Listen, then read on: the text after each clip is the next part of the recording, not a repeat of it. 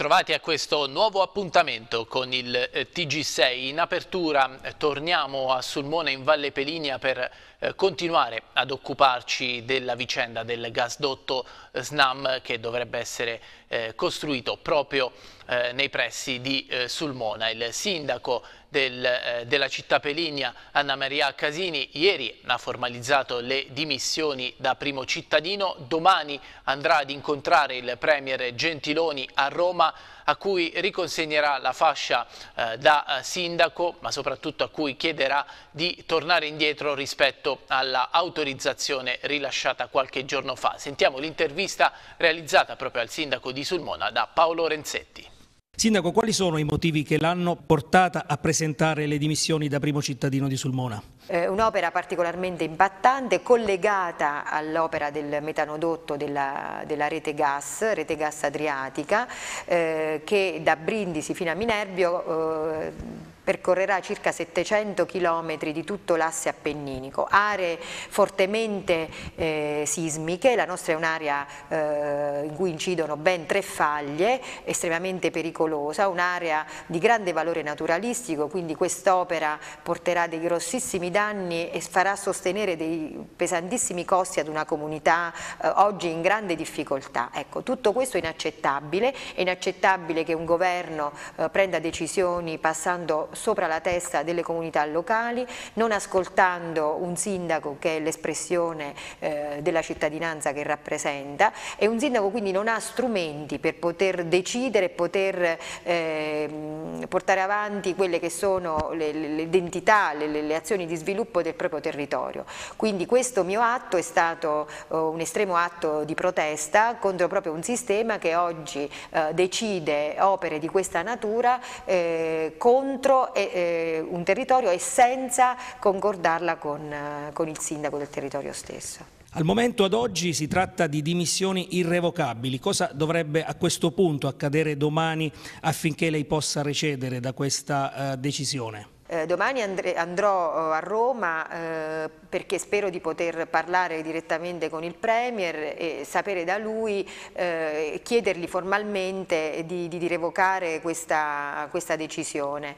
Molti parlano di eh, dimissioni eh, di pancia, dimissioni arrivate così all'improvviso. Lei ha letto le carte, ha visto quali sono le prescrizioni di questo progetto?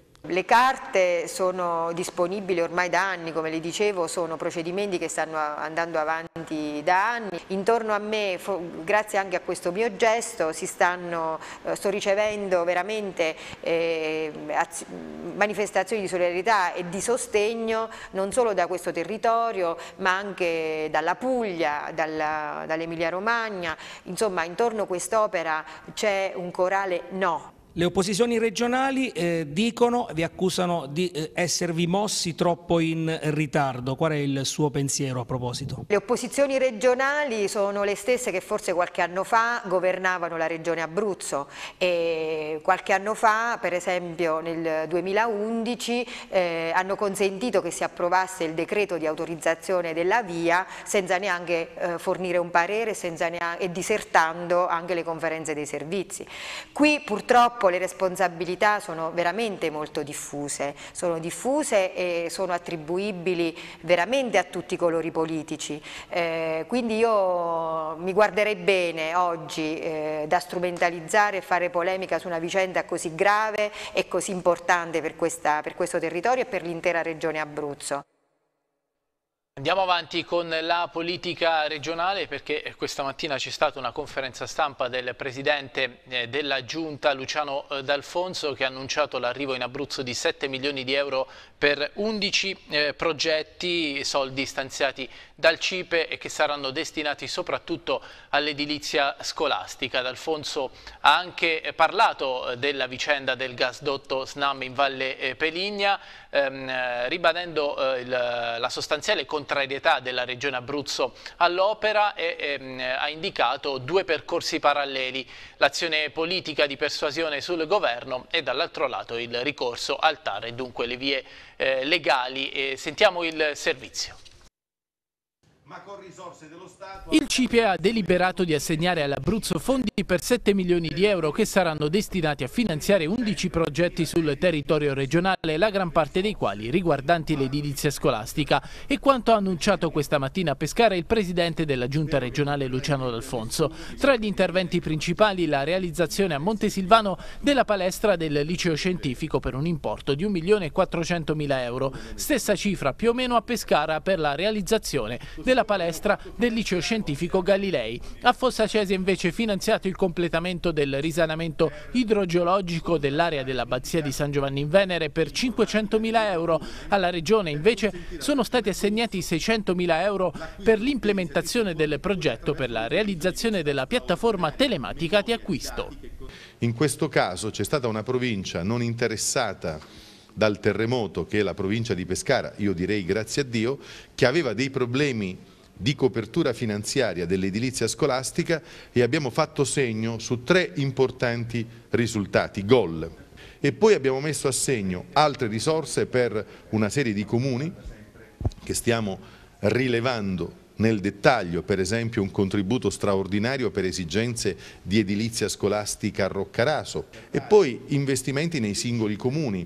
Abbiamo fatto noi richiesta per quanto riguarda Caramanico Terme, abbiamo fatto richiesta per quanto riguarda Tollo, abbiamo fatto richiesta per quanto riguarda Arielli, abbiamo fatto richiesta per quanto riguarda Cerchio, abbiamo avuto risorse su tutti i fronti. Il Presidente D'Alfonso ha anche colto l'occasione per fare un intervento puntuale rispetto alla vicenda del gasdotto SNAM in Valle Peligna. Queste le azioni che verranno messe in campo da parte di Regione Abruzzo. Si è pervenuti alla competenza del Consiglio dei Ministri in ragione dei dinieghi deliberati da Regione Abruzzo. Io opererò su due fronti sia sul fronte del TAR, con questa Costituzione attraverso il meglio della professionalità nazionale e poi opererò anche dal punto di vista politico ed istituzionale. Ripercorro la strada che ho seguito per quanto riguarda il no a Umbrina di Ferro. Andiamo avanti, adesso voltiamo pagina con la cronaca. Presunto caso di violenza sessuale su una giovane di 25 anni. L'episodio sarebbe accaduto nella notte tra il 23 e il 24 dicembre all'Aquila. La squadra mobile del capoluogo di regione sta ancora indagando. Sentiamo il servizio della redazione aquilana. Una brutta serata per una giovane ragazza di 25 anni che si è recata al pronto soccorso nella vigilia di Natale, accusando un presunto caso di violenza sessuale. La squadra mobile dell'Aquila sta facendo tutte le indagini del caso, cercando di ricostruire i fatti grazie all'aiuto delle telecamere, che potrebbero permettere di ricostruire il tragitto fatto dall'automobile in cui si trovava la giovane ragazza. La 25enne, una volta recata al pronto soccorso, ha effettuato tutte le visite specialistiche ed è stata poi dimessa. Immediatamente è scattata la denuncia. Trattandosi di un caso così grave e delicato, non si conoscono ancora tutti i particolari, ma la squadra mobile, coordinata dal dottor Tommaso Niglio, sta lavorando per fare chiarezza.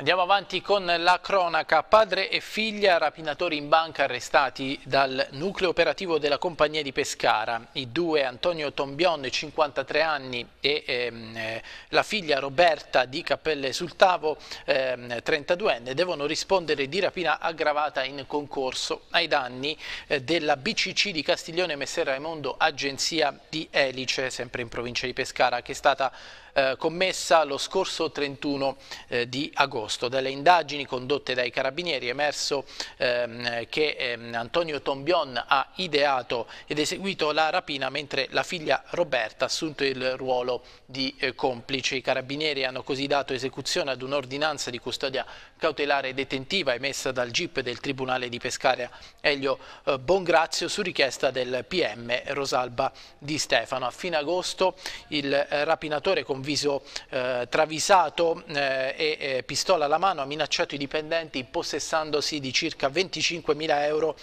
Uh, prima di dileguarsi a piedi eh, raggiungendo come appurato dalle indagini dei militari la figlia Roberta a bordo di un'autovettura Renault Kangoo eh, bianca. Queste le eh, risultanze delle immagini eh, anche delle telecamere di videosorveglianza. L'uomo è stato trasferito al carcere di eh, San Donato a Pescara, mentre la figlia è stata posta ai domiciliari.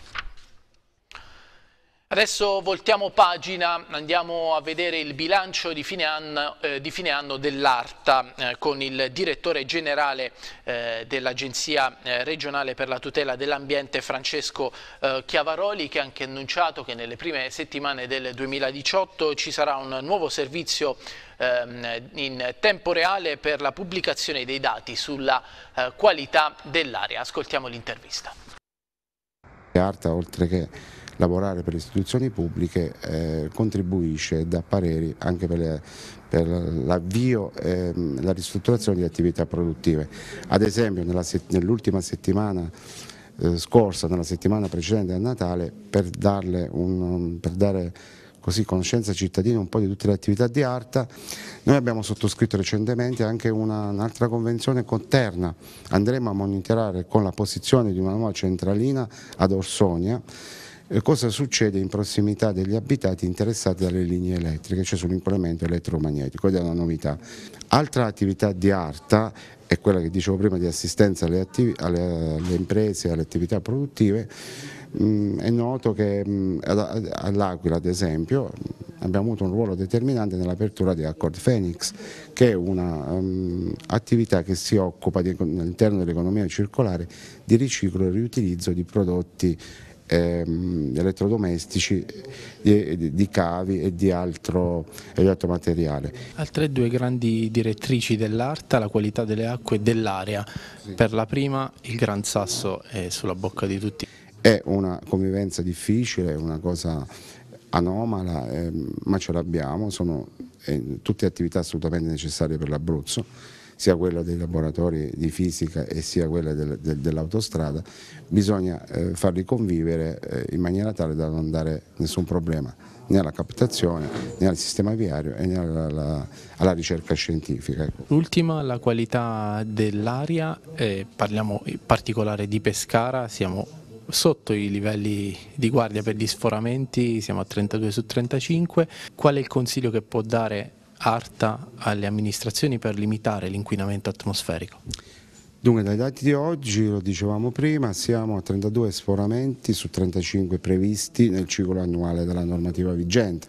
Il dato va letto in, in due modi, sia nel numero dei superamenti sia nella quantità del superamento. Nelle altre città italiane ci sono superamenti abbondanti del, del limite, a Pescara siamo appena sopra se parliamo di Pescara consiglio che Arta eh, può dare, che in base ai dati che noi diamo, in base ai dati storici e quelli del 2017, io consiglierei un po' ai comuni dell'area metropolitana di consorziarsi o di trovare un sistema eh, che dia possibilità nel momento in cui c'è necessità di adottare eh, dei provvedimenti che siano comuni un po' a tutti i comuni che gravitano su questo territorio. Nuovo piano regionale dei rifiuti ma anche obiettivi per il prossimo anno e consuntivo del 2017, questo eh, quanto eh, messo nero su bianco nella conferenza stampa di questa mattina a Lanciano di Ecolan con eh, Regione Abruzzo, vediamo il servizio. In tutti quei comuni dove abbiamo raggiunto diciamo, percentuali di raccolta differenziata oltre diciamo, il cosiddetto punto di pareggio, per esempio Lanciano contrattualmente avevamo previsto di raggiungere il 71, siamo al 77%, quest'anno ci sarà una riduzione di circa 60 mila euro eh, per il Comune e quindi per i cittadini. Fine anno tempo di bilanci anche per Ecolan che proprio addirittura d'arrivo del 2017 ha ricevuto un finanziamento di 12 milioni di euro dal Ministero dell'Ambiente per la realizzazione di un nuovo impianto di trattamento rifiuti che dovrebbe essere completato entro il 2020 e che consentirà di abbassare i costi di smaltimento da 98 a 70 euro a tonnellata finanziamento che si riverserà anche in altri progetti, tra cui l'ampliamento della piattaforma ecologica di Cerratina di Lanciano. Finanziamenti per realizzare il famoso impianto della Forsu, il 4 dicembre abbiamo ottenuto anche l'autorizzazione integrata ambientale, quindi gennaio-febbraio pensiamo di far partire la gara europea per proprio realizzare l'impianto. La società interamente pubblica che si occupa della raccolta e gestione dei rifiuti e che conta 53 soci nell'area Frentano-Sangrina è riuscita a stabilizzare la raccolta differenziata in media attorno all'80,4%, risultato raggiunto mantenendo l'equilibrio economico-finanziario che ha reso possibile la chiusura degli esercizi sociali inutile. Ci proviamo ad essere un esempio, c'è qualcuno che, insomma, mi riferisco chiaramente ai privati che legittimamente ci fanno ricorsi sugli affidamenti, adesso mh, siamo diciamo, addirittura d'arrivo al TAR, a gennaio si discuterà questo ulteriore diciamo, ricorso da parte dei privati, ma noi oh, siamo diciamo, fiduciosi perché abbiamo ottemperato a tutte quelle che erano le critiche e le richieste del, del TAR. I vertici di Ecolan sottolineano come il pubblico, se vuole, sa funzionare senza sprechi e inefficienze. Il presidente di Ecolan, Massimo Ranieri, stila gli obiettivi per il prossimo anno. Abbiamo diciamo, progetti e obiettivi anche importanti, cioè, ad esempio quella di realizzare ulteriori centri di raccolta eh, finalizzati proprio alla possibilità che l'utente possa andare a vendere il proprio rifiuto direttamente al centro di raccolta e quindi alla fine dell'anno eh, diciamo andare a compensare il costo della Tari con quello che, che, che sono i ricavi dovuti alla vendita del proprio rifiuto. Adesso ci spostiamo a Lanciano, sono 1600 le eh, firme raccolte da operatori sociosanitari e ausiliari a conclusione del sit-in di protesta che hanno effettuato all'esterno dell'ospedale Renzetti eh, di eh, Lanciano. Firme che i precari porteranno all'attenzione della Regione della ASL per chiedere, tra le altre cose, il riconoscimento dell'anzianità di servizio. Vediamo insieme il servizio. Oltre 1600 firme, questo è il risultato del presidio permanente e contestuale raccolta di firme davanti all'ospedale Renzetti di Lanciano per la protesta dei 150 lavoratori precari nei settori degli ausiliari e operatori sociosanitari in servizio nei presidi di Lanciano, Vasto e Chieti. I lavoratori, in maggioranza donne assunti da aziende e cooperative esterne, chiedono il riconoscimento dell'anzianità di servizio per poter partecipare al concorso pubblico previsto per il 2018. Molti dipendenti esterni lavorano nell'ASLA anche da 15 anni. La richiesta è dunque quella di essere riassorbiti e che ai 150 lavoratori vengano riconosciuti gli stessi diritti dei colleghi strutturati con cui lavorano da anni fianco a fianco nelle strutture pubbliche ospedaliere, seppure con cooperative private. Le firme saranno ora consegnate all'assessore alla sanità Silvio Paolucci e all'ASL regionale. Daniele Moretti, responsabile comunicazione per Unione Sindacale di Base Abruzzo. Presenteremo queste firme all'ASL e all'assessore regionale per la sanità Silvio Paolucci, al quale chiederemo di, di, portare avanti e di mettere in pratica due modelli che sono già realtà. Il primo è quello della Regione Lazio, che con la legge 4 del febbraio 2017 ha riconosciuto l'anzianità di servizio al personale assunto da aziende e cooperative private che lavorano eh, per i servizi in appalto eh, dalle ASL. Eh, il secondo modello è quello della Regione Puglia che prevede eh, diciamo, la costituzione da parte della Regione e quindi della ASL di una società in-house providing, quindi eh, partecipata al 100% dal pubblico, in diciamo, un modello in stile Ecolan che mh, permetterebbe, andando a vedere i dati appunto della Regione Puglia, che permetterebbe un rientro eh, nel bilancio per i debiti, e, mm, un servizio migliorato per la gestione, i diritti dei lavoratori e quindi di conseguenza anche la qualità del servizio per i cittadini. Torniamo all'Aquila, un sollevatore per l'utilizzo della piscina, è stato questo il eh, regalo di fine anno da parte dell'amministrazione eh, comunale nella eh, piscina eh, dell'Aquila. Vediamo insieme il servizio di Germana Dorazio. La piscina comunale dell'Aquila da oggi ha un sollevatore che consentirà l'agevole e dignitoso utilizzo anche ai disabili, agli anziani e alle persone in riabilitazione motoria dell'uso della piscina stessa. La consegna è stata fatta dal sindaco dell'Aquila per Luigi Biondi alla presenza del vice sindaco Guido Quintino Liris e dell'assessore allo sport Alessandro Piccinini. Ringrazio coloro che hanno segnalato la necessità ai settori opere pubbliche e impiantistica sportiva che si sono impegnati affinché l'acquisto fosse effettuato in maniera celere, ha dichiarato il sindaco Biondi. Anche interventi di questa natura concorrono all'abbattimento delle barriere e riducono il grado di disabilità qualunque sia il genere. Vero è, dice Biondi, che la disabilità non indica più un assoluto della persona, ma attiene al rapporto tra la persona e il suo ambiente di riferimento. Se la dignità è una condizione di salute in un ambiente sfavorevole, dobbiamo continuare nella direzione di rendere la città accogliente. Il prossimo passo, ha concluso Biondi, sarà quello di istituire in comune l'ufficio del Disability Manager. Cambiamo decisamente pagina, una mostra eh, di eh, presepi dell'artista aquilano Piero Boschetti. I paesaggi d'Abruzzo diventano così presepi e questo ciò che ha voluto rappresentare l'artista facendo ricostruzioni di borghi significativi del, dell'Abruzzo con materiali semplici come il legno, il sughero o eh, la pietra. Vediamo il servizio di Luciana Celeste.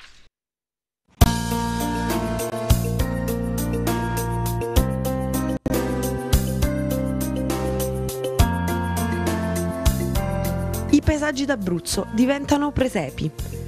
Un'esposizione di presepi a Palazzo Fibbioni. Le creazioni artistiche sono state realizzate da Piero Boschetti e sono creazioni fatte con materiali semplici e naturali, come il legno, la pietra e il sughero. Si possono notare giochi di luce, musica e tanti piccoli particolari che rendono magiche queste creazioni. Nelle rappresentazioni di Piero Boschetti si possono ammirare i caratteristici borghi medievali d'Abruzzo, villaggi arroccati su cucuzzoli di montagne, scene che sanno di antico e ricordano momenti di vita vissuta, paesaggi e scorci di natura che evocano nel visitatore profonde emozioni. Le rappresentazioni hanno voluto dare molto risalto anche alla figura della donna, la spiritualità dell'Abruzzo intendo come intendiamo possa essere le nostre montagne, possono essere le montagne che, che danno quell'aspetto così bello come possa essere il Gran Sasso, il Sirente, Sono, le montagne hanno una bellezza unica e quindi riportare nell'arte presepiale ci sta abbastanza bene, il pubblico li apprezza perché appunto ho riportato l'arte presepiale in queste bellissime montagne appenniniche. Adesso apriamo la pagina dello sport, iniziamo dal calcio di Serie B. Questa sera alle 20.30 il Pescara ospita il Venezia per chiudere il eh, 2017 anche il girone d'andata. Intanto sono già iniziate le grandi operazioni sul fronte mercato, valigie pronte per il centravanti Gans e per il portiere Pigliacelli, mentre il difensore Cesare Bovo ieri è stato operato al ginocchio e resterà fuori un paio di mesi almeno. Ascoltiamo Andrea Costantini. Questa sera il Pescara spera di congedarsi dai propri tifosi con una vittoria. Una piccola soddisfazione per un pubblico che nel 2017 ha dovuto ingoiare tanti rospi. Una retrocessione, appena due vittorie in Serie A ed una ripartenza con Zeman in questa stagione di B costellata da problemi di chimica di squadra, gioco raramente espresso come vorrebbe il Boemo e risultati complessivamente sotto le aspettative con la panchina dello stesso Zeman che è stata pericolante negli ultimi giorni anche per via del botte risposta risposta mediatico con il presidente Sebastiani. Tre punti rimetterebbero in parte a posto la classifica, regalerebbero una sosta più serena con il Delfino pronto a sferrare l'assalto ai eh, playoff nel girone di ritorno. In società le operazioni in vista del mercato sono già iniziate. Retrocesso da titolare di inizio stagione a Panchinaro, il eh, portiere Mirko Bigliacelli potrebbe riaccasarsi alla Provercelli in prestito. Per l'estremo difensore si tratterebbe di un ritorno nella squadra piemontese nella quale ha militato nella stagione 2000 2014-2015. Altro indiziato alla partenza, con la permanenza di Zeman sulla panchina del Delfino, è il centravanti Simone Andrea Ganz. L'attaccante, lasciato i margini dal Boemo, fa gol all'Ascoli, ma sull'ex Lariano fa un pensierino anche il Foggia di Stroppa, che già in estate si era inserito tra il Pescara e la Juventus prima della chiusura della trattativa. L'Atalanta, come ha detto Zeman in conferenza, rivuole indietro Valzania per poterlo girare in un club come il Carpi che gli può garantire impiego maggiore rispetto a quanto avvenuto in riva all'Adriatico. Un altro che rientrerà alla base, ovvero l'Atalanta, sarà Lattelat, mai impiegato in stagione in prima squadra. Per lui appena quattro presenze in primavera. Ma sono tanti altri fronti da sviluppare. Zeman ha battuto tanto sul tasto della rosa troppo ampia, difficile da gestire e la dirigenza bianca-azzurra dovrà adoperarsi per snellire e tanto l'organico. Argomenti che saranno ancora più attuali nei prossimi giorni. Questa sera intanto la partita col Venezia. Cesare Bovo non sarà neanche in panchina. Il difensore, disponibile a intermittenza quest'anno, è stato operato ieri per la pulizia della cartilagine del ginocchio destro. Starà fuori un paio di mesi. Benali era finito sotto i ferri per un intervento alla mano la scorsa settimana e tornerà a disposizione probabilmente a febbraio. La partita di questa sera dovrebbe segnare il ritorno dal primo minuto di Proietti, mentre Valsania, forse la sua ultima in biancazzurro, dovrebbe essere preferito a Koulibaly. Nel Venezia out Falzerane Domizzi, recuperato in extremis eh, Modolo che dovrebbe spuntarla su Cernuto per un posto nella zona centrale della difesa. Fischio d'inizio alle ore 20.30 con la direzione di Abbattista di Molfetta. TV6 come sempre seguirà la partita con l'ultima puntata dell'anno di diretta stadio in onda a partire dalle ore 20.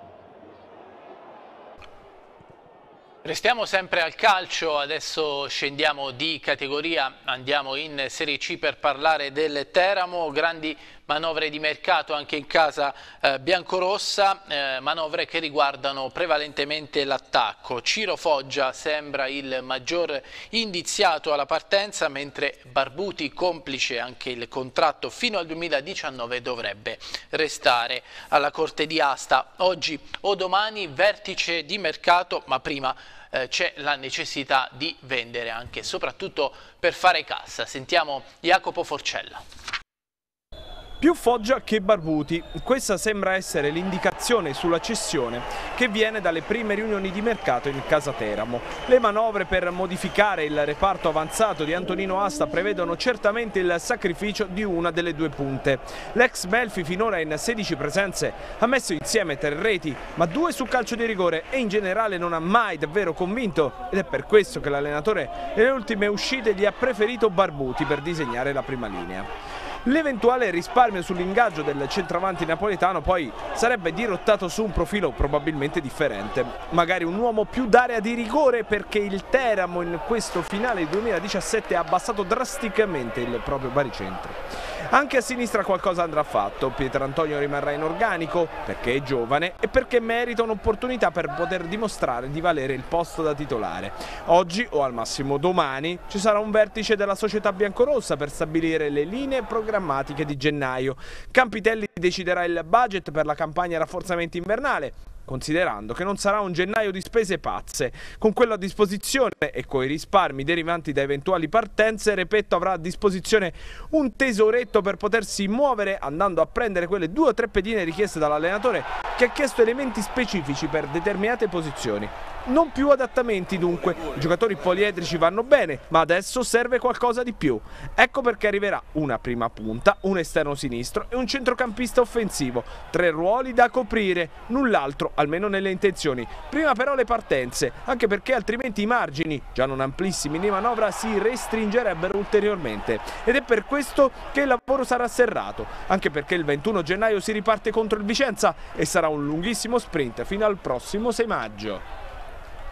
Ed è tutto anche per questa edizione del TG6, io vi ringrazio per averci seguito, vi ricordo che tutti i nostri servizi sono disponibili sul sito www.tv6.it e sulla nostra pagina YouTube. Non mi resta che augurarvi un buon proseguimento con la nostra programmazione.